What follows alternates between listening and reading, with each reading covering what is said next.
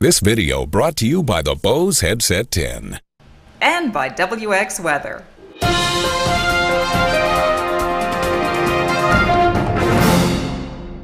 Hi, I'm Mary Grady from AvWeb, and I'm here today with Bernard Larferrier, who's the president of Explorer Aero, and he's brought his new LSA, the EcoFlyer, to the show. Uh, Bernard, can you tell us what's unique about this aircraft? Okay, well, definitely the size of it. You know, it's a big airplane for this category.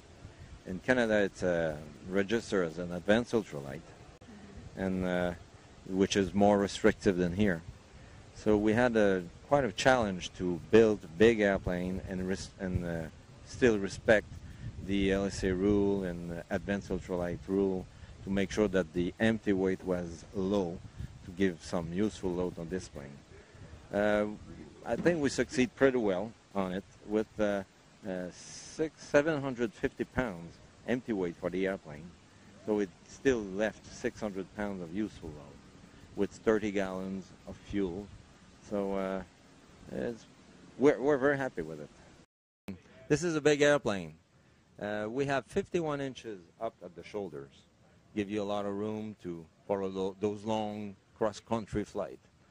Up here on the uh, panel, we have an EFIS made by uh, Advanced Flight System, company out of Oregon, and uh, all the controls here, you know, throttle, choke, carbide, carbonate, uh, adjustable uh, rudder pedal, because the seats are fixed, make the CGN, and uh, we got the, a Y uh, control here for the aileron and the elevator.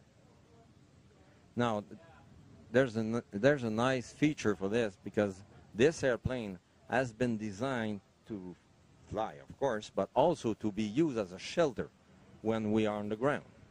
So to improve the capacity of the airplane, we are we did design a backrest can flip and give more room in the back for the happy hour or for lunchtime.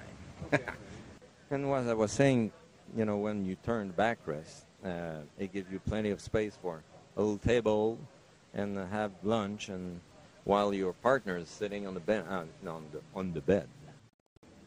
Okay, we can see there's a lot of space in this airplane to go out and fly and have fun. Can you tell me a little about the construction and the engine and all of those kind of details? It's uh, all composite airplane with few material, with few metal for the landing gear and the compression of the wings. But other than that, it's all composite.